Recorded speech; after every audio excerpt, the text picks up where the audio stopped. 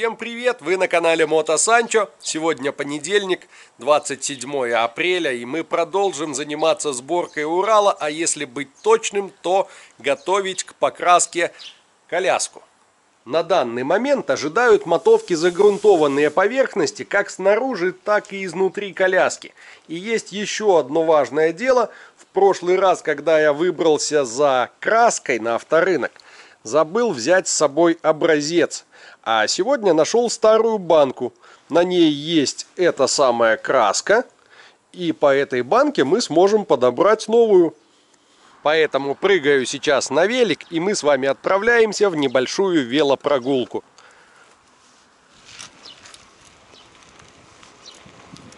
Дело в том, что я решил отправиться не на ближайший ко мне авторынок, Бакунинский, а на относительно дальний Ефремовский, где работает мой одногруппник, у которого я когда-то эту краску и покупал. Двигаемся сейчас по улице Богдана Хмельницкого. Видим памятник Богдану Хмельницкому.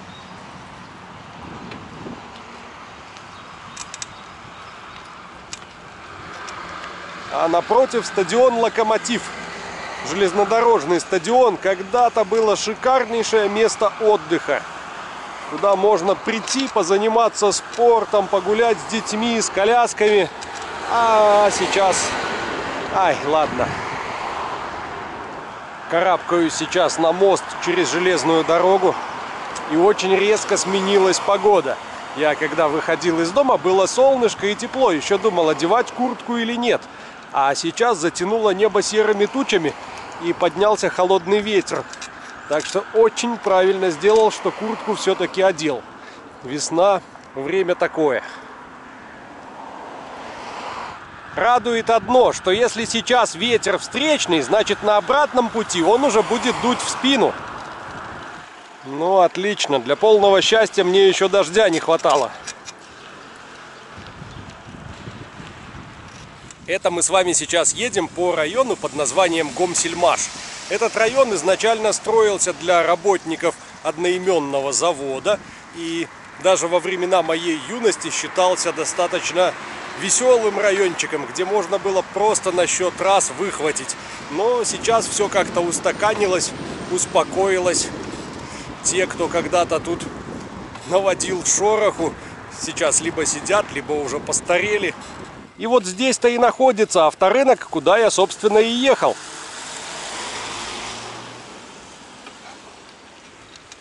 Обидно получилось, я приехал, а одногруппника моего на месте нет.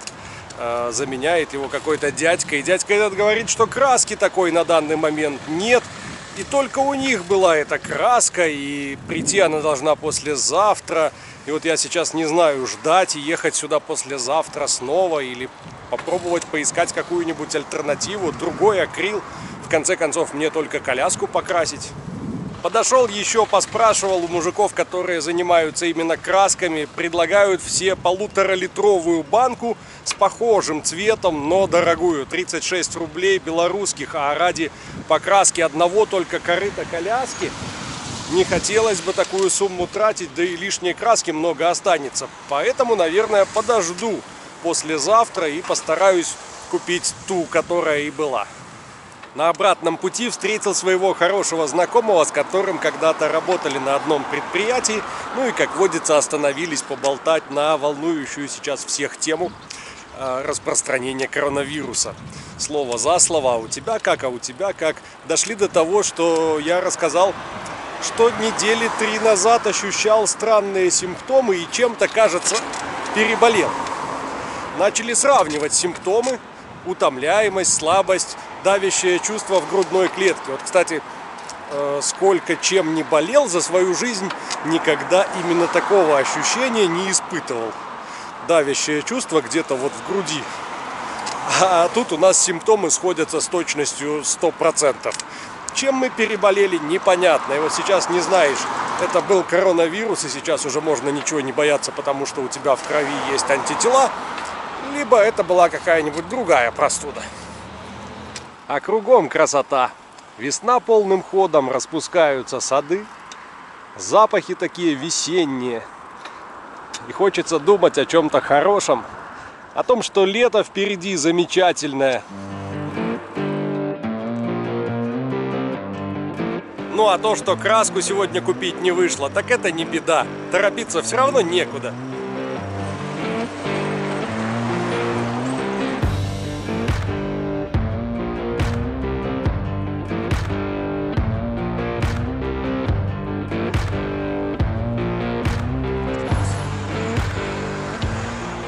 Вернулся я домой, а тут, пока меня не было, приезжал курьер из ДЭКа, отдал Танюшке посылочку на мое имя.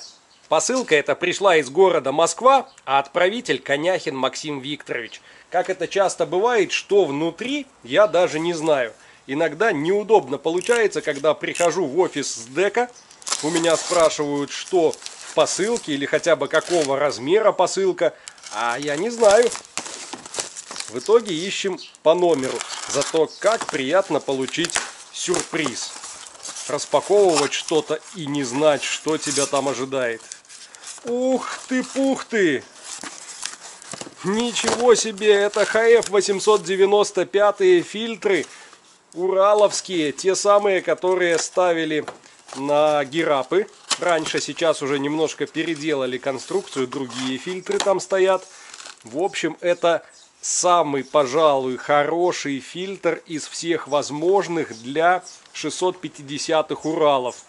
Обалдеть! Спасибо, огромное спасибо. Максим, напиши мне свой обратный адрес, чтобы я мог хотя бы стикер тебе в ответ отправить. А еще твоя посылочка навела меня на мысль, чем же я могу сегодня заняться. Да-да, именно посылками. Дело в том, что у меня уже есть адреса ребят, которые победили в розыгрышах поршней, коленвала и бейсболки. А значит, посылки надо отправить. А для того, чтобы все доехало в целости и сохранности, необходимо тщательно продумать упаковку. Согласитесь, будет неприятно, если хороший новый коленвал по пути в Хакасию несколько раз уронят на пол – а значит нам потребуется что-то более прочное, чем обычный картон.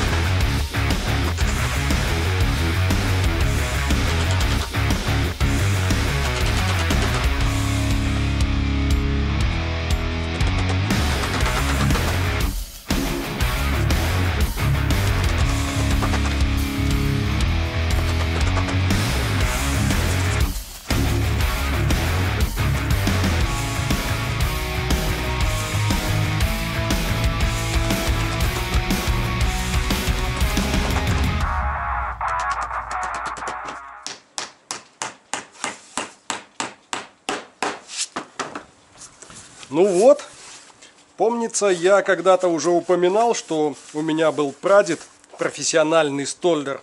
Так вот, хорошо, что он этого не видит. С поршнями поступим немного проще. Завернем их в подложку для ламината. Она очень хорошо гасит удары.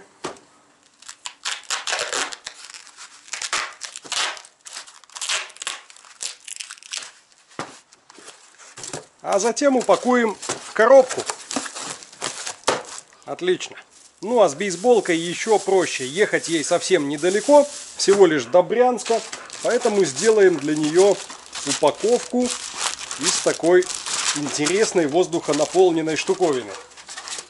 Где-то был скотч. Вот он.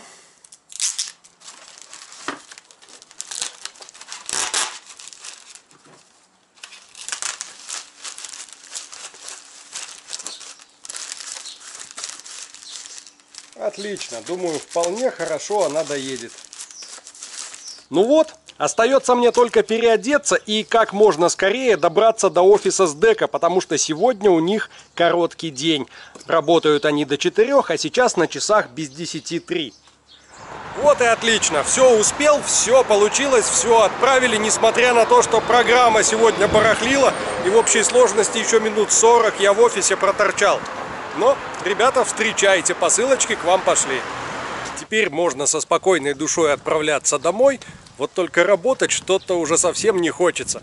Пожалуй, возьму сейчас сына и пойду с ним тренироваться, кататься на велике. Он совсем недавно научился ездить на взрослом двухколесном велосипеде. И его переполняет желание кататься еще и еще. Я по себе знаю, как это здорово. Погнали кататься. И еще одно важное дело у нас есть – прикрепить звонок. Дело в том, что велик изначально не комплектовался звоночком. Мы его недавно докупили. Откручивай. Что? Угу, Вот это? вот это. А, гаечку? Это болтик в другую сторону. Вот такую? Угу. Отлично. И установим под левую руку. Ну-ка проверь, вот так удобно будет? Ну вот. Отлично.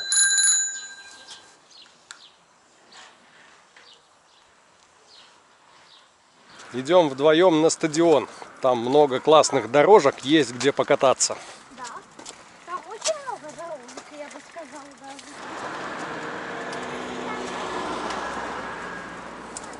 даже. Подзабыл, подзабыл немножко.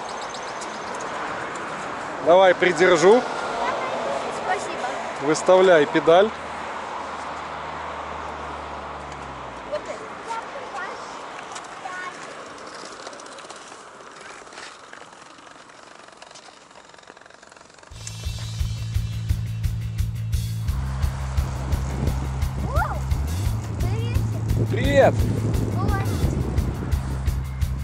Кажется, Мишка, тебе надо сиденье чуть повыше поднять. Когда едешь, ноги должны быть прямыми, тогда и крутить педали легче. Да? Попробуй вот с таким сиденьем. О! Еще не до конца, но пускай освоится так.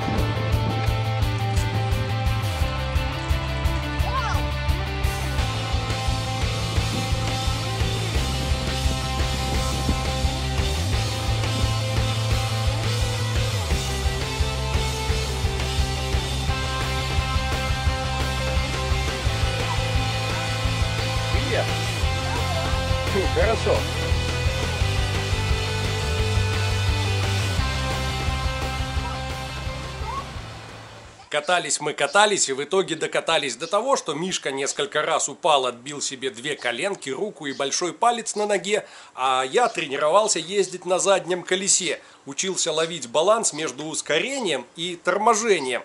В итоге опрокинулся на спину, отбил нижнюю часть спины. Но мы довольные вернулись домой и хотелось бы немножко пофилософствовать. Вот я сегодня планировал заниматься одним, а в итоге получилось совершенно другое.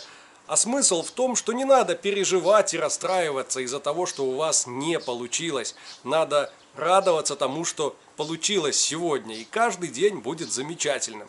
На этом на сегодня, друзья, у меня все. Всем спасибо, всем счастливо и всем пока.